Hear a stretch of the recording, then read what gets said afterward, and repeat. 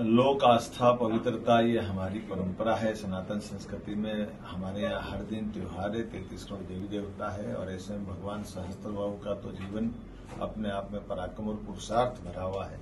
सहस्त्रबाहु जयंती भी मेरे अपनी ओर से पूरे प्रदेशवासियों को, देशवासियों को बहुत बहुत बधाई।